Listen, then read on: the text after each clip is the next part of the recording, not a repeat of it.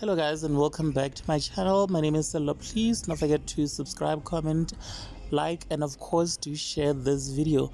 So a video of a criminal at the back of a police van parked outside court for his court appearance has been shared on TikTok, you guys, where the man who is waiting to get inside court and face judgment for his crimes has been circulating on social media, you guys, now because the alleged criminal is heard loudly praying to God and asking Him for protection and to rescue him from whatever verdict.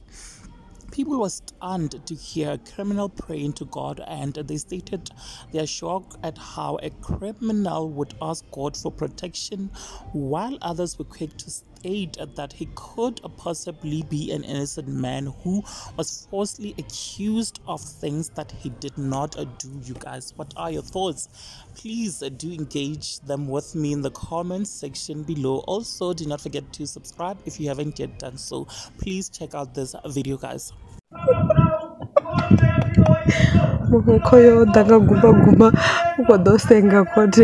kote não é isso não é isso não é isso não é isso não é isso não é isso não é isso não é isso não Outro zima do é isso